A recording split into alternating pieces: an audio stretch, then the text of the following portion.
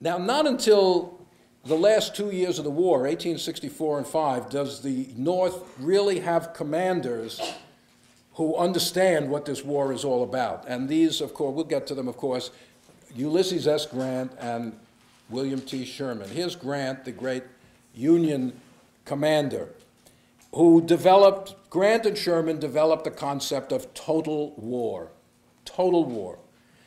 We will see this develop as it, but for now it's significant. Neither of them was really a West Point type. Grant was at West Point. He both of them were graduated from West Point. Grant was at West Point, but he hated it, and he kept reading the newspapers in the 1840s to try, hoping that West Point would be abolished so he could go home. There was debate about that. It was seen as an aristocratic institution. Sherman lived in the South before the war and was somewhat mentally, well, quite depressed anyway at the uh, end, at the beginning of the war. He suffered from depression. Um, neither, but both of them had extensive experience in the Mexican War, and it was experience, not West Point training, that they drew on. In fact, you know, there's a story after the war. A group of businessmen in New York decided to honor Grant by giving him, donating to him a, uh, a library of military history books. And, um, but being businessmen, they didn't want to waste their money, so they said, well, you tell us what books you have, and we won't give you duplicates. We'll give you other books. And Grant said, well, I don't actually have any such books. I don't read military strategy or military history because it's irrelevant to what's going on nowadays. Um, Grant had this incredible capacity of self control, self reliance, attentiveness.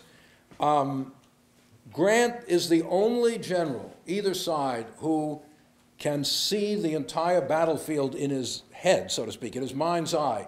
You know, at the beginning, yeah, here's these guys are here, these guys are there. Once the battle begins, reports start coming in from all over the place. This guy's over here. We have to have reinforcements. And literally, most generals, they, they really had like a, a, a map and little thing. They'd move, okay, this guy, move this guy over like little chessmen. Not Grant. He kept it all in his head. He could see what was going on just from the reports without having to sort of physically have it embodied. Um, and uh, most generals could not think beyond the scope of their own vision. They had to have something to look at to understand what was going on. Not Grant. He had this incredible power of concentration. Now, Grant and Sherman totally integrate politics and war by the end of the war. Sherman's march to the sea, which we'll talk about, not a very popular guy in Georgia, I understand that. Um, Atlanta to the sea with great destruction.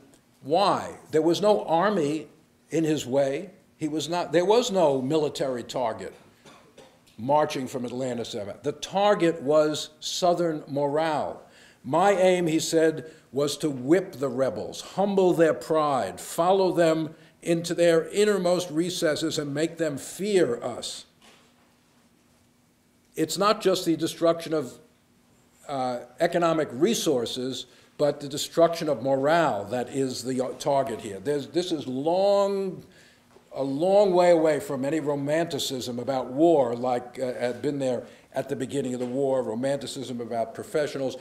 And Grant, too, Adam Badeau, his aide de camp, wrote after the war, he said, above all, Grant understood he was engaged in a people's war.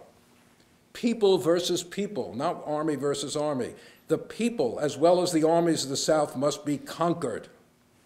That means slaves, supplies, crops, stock, as well as arms and ammunition, must be, the enemy must be deprived of them. Anything that helped them think they could continue the war should becomes a target. And so you get, um, you know, a very destructive, uh, the last two years of the war are very destructive in the South. Here's a, a destroyed rail bridge by uh, Sherman's troops, just, you know, to impede the flow of goods in, uh, in, in the Confederacy. Here, of course, is uh, one of the iconic pictures of Richmond, uh, this is a flour mill, I think, after the fires that destroyed Richmond when the Union Army finally entered the city in 1865. But so, you know, the, the, the how should I put it? The line between military targets and civilian targets begins to erode as the, um, as the Civil War as the Civil War goes on. As I say, the, Sherman says War is cruelty, and you cannot refine it. If the people raise a howl against me for barbarity, I say war is not popularity seeking. If they want peace, they must stop the war. That's it. You don't like what's going on? Stop the war, don't fight, it'll all be over, says Sherman. That's the only way to win this war.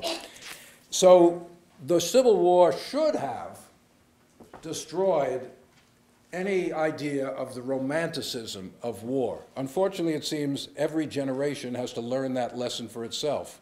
When World War I rolled around, people again marched out with the flags flying and the drums beating, and it was going to be a great, glorious thing, et cetera, et cetera. People always seem to go to war with that, and then they discover that's not really what it's all about.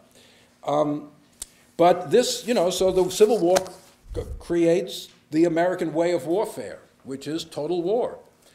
And it is soon transferred to other venues. It's not an accident that it's in the years after the Civil War that the great fight against the Plains Indians takes place in the same way. What do they do to defeat the Plains Indians? They destroy the buffalo because that's what they live on, right? So you go after their infrastructure, not just armed men. Um, many of these Civil War generals, Sheridan and others, were out there directing the suppression of the Plains Indians. In 1871, Sherman was over in France when the Franco-Prussian War, the war between Prussia and France, was taking place, and he was there with the Prussian army, which was surrounding, you know, uh, um, encircling Paris. And Sherman said, well, what is this with these guys? These Germans are pussycats. What's the matter with them? They don't, they don't, you know, why aren't they bombarding the city? Why aren't they trying to destroy everything? You know, no, the Germans are kind of nice guys. They don't know how to fight a modern war. Um, and you can, you know, then you can run back in the 1960s. There were many books published trying to link Sherman's March to the Sea and the Vietnam War. Although that's really unfair to Sherman because Sherman's March just destroyed property. They did not go after civilians. He protected civilians. Property was the target, not people. In Vietnam, you had what they called these free fire zones where anybody who moved was assumed to be an enemy and could be, could be, um, could be legitimately shot. So just, we will start really talking about the Civil War next time, but the, the Civil War, my point is, shaped modern America in ways both very good and bad. It brought about uh, a new birth of freedom. It destroyed the institution of slavery. It brought about, if you like this or not, the rise of the powerful national state.